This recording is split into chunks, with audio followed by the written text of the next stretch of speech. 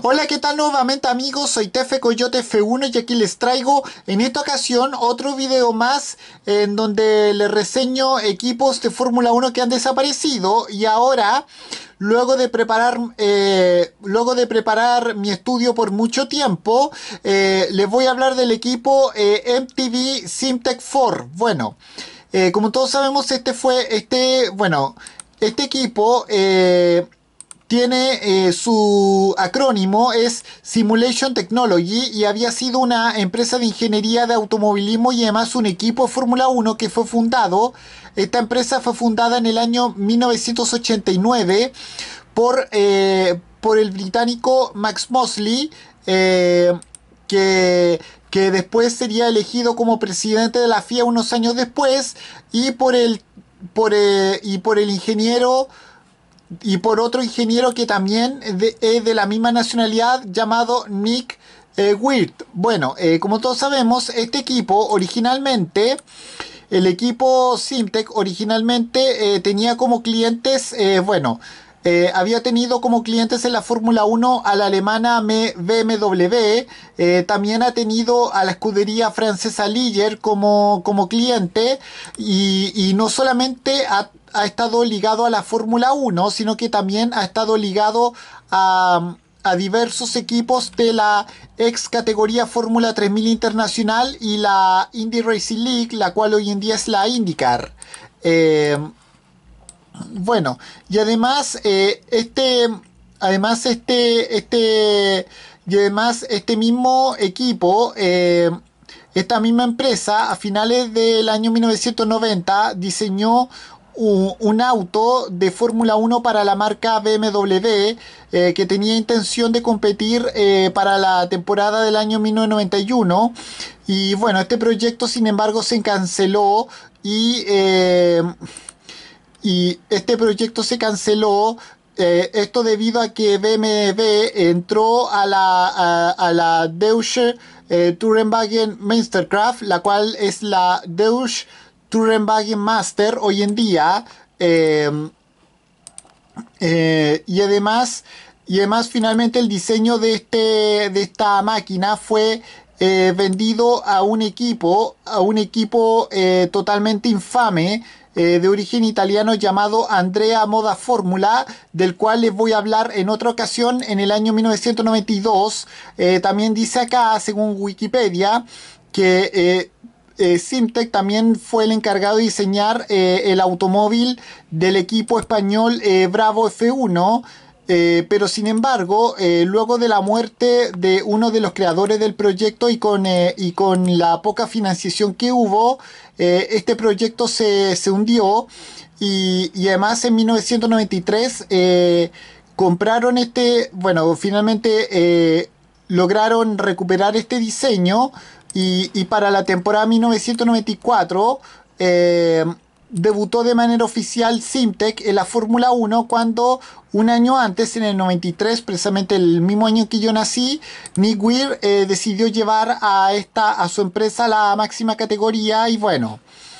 Y, bueno, y además eh, vamos a continuación a... Bueno, vamos a continuación a ver los resultados de este equipo. Eh, bueno, recordemos que este equipo, este equipo contrató a Ford, a Ford Cosworth como su proveedor de, como su proveedor de motores, mientras que eh, mientras que su auspiciador principal es, eh, fue una cadena de televisión por cable estadounidense llamada MTV, o sea Music Television, y ahora le voy, y voy a hablar por...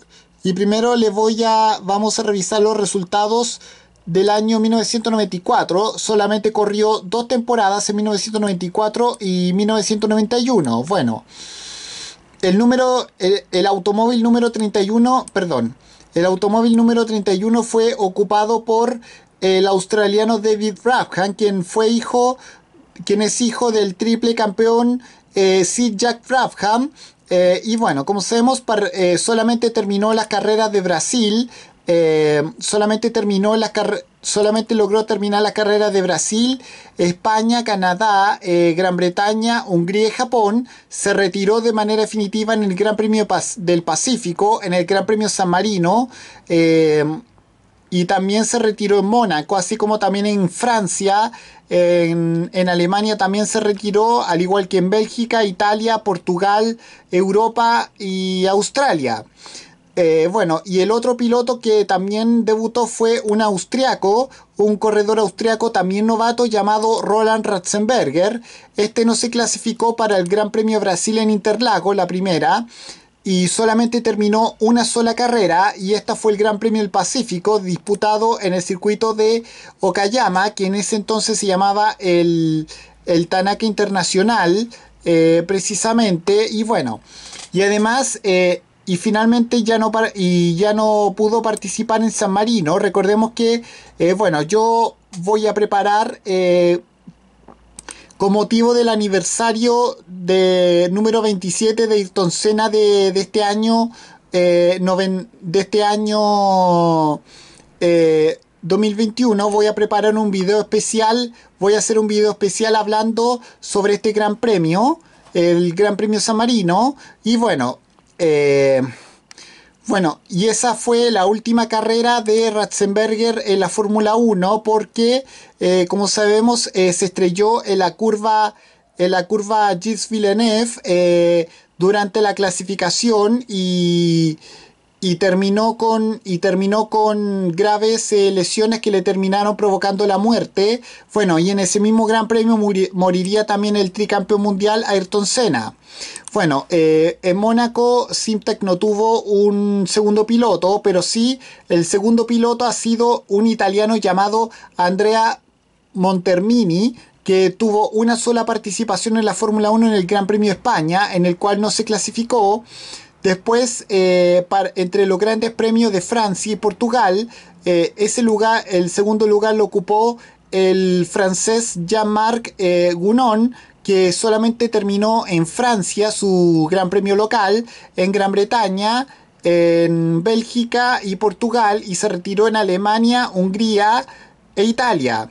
Bueno, después, después para el Gran Premio, para el Gran Premio de Europa en Jerez de la Frontera y el Gran Premio de Australia, la última, en esta última se había retirado, lo ocupó otro italiano llamado Domenico Schiatarella, eh, que bueno, como le dije, participó en el Gran Premio Europa y en el Gran Premio Australia solamente, y bueno, y, el, y en el Gran Premio Japón, el lugar lo ocupó eh, el japonés Taki Inou, que como sabemos eh, en Japón eh, en su carrera debut y en su carrera local, este se retiró. Bueno, y, además terminaron eh, y terminaron sin ningún punto sumado en toda la, la, temporada del 94. Después en el año 95 cambiaron los pilotos. Bueno, eh, volvió el piloto, el primer piloto volvió a ser el, el italiano Domenico Schiarattarella, eh, que había debutado, eh, que había corrido de manera oficial con este mismo equipo en los grandes premios de Europa y, y Australia. Y bueno, y después, y después el segundo lugar lo ocuparía el holandés Jos Verstappen, quien como sabemos es el padre de Max Verstappen, que actualmente es el piloto estrella de Red Bull Racing. Y bueno, eh, como sabemos, eh, Domenico bueno, Schiatarella solamente terminó los grandes premios de Argentina y España y se retiró en Brasil y San Marino. En cuanto a Jos Verstappen, bueno, Jos Verstappen solamente terminó el Gran Premio España y se retiró eh, y se retiró eh, en los grandes premios de Brasil, Argentina y San Marino. Y bueno, y en Mónaco finalmente no participaron no participaron ni Scatarella ni Verstappen para el equipo Simtech. Y bueno, y con eso, eh, y después de este Gran Premio, el Gran Premio Mónaco del 95, el equipo eh, quedó, quedó en quiebra, quedó en bancarrota. Y bueno, y bueno, ya había acumulado este equipo 6 millones de libras eh, en deuda desde su existencia. Bueno, como sabemos los resultados finales no lo ayudaron, fueron pésimos.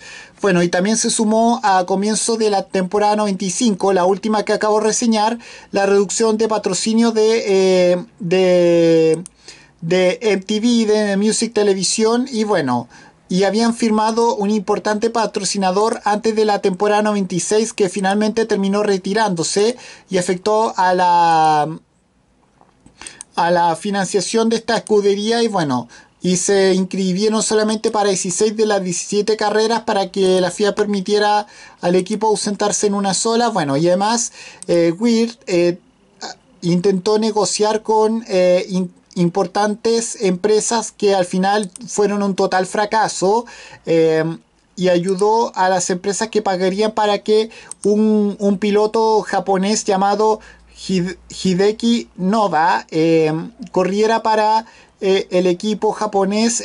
bueno, pero esto fue gravemente afectado por el terremoto de Kobe que ocurrió en ese año en el 95 que ocurrió el 17 de enero de dicho año y, entonces el equipo entró, eh, el equipo tuvo un colapso financiero y entró en liquidación y bueno, y también se declaró en bancarrota eh, Research, la empresa que originó la escudería y se perdieron eh, 48 puestos de empleo y, los, y, fueron subastados principalmente todos los recursos del equipo y se puso fin de esa manera a Simtech en Fórmula 1 y a la empresa en general.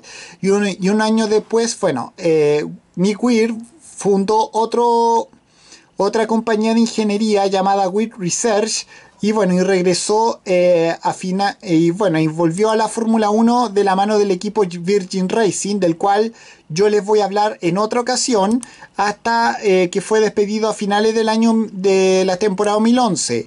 Y bueno, y así eh, termina la historia de este equipo, del equipo MTV Syntec 4, Syntec 4. Y bueno, y además el próximo equipo del cual les voy a hablar será será del equipo Caterham eh, próximamente, que es uno de los más recientes. Y bueno, con esto me despido. Adiós, que me fuera. Chao.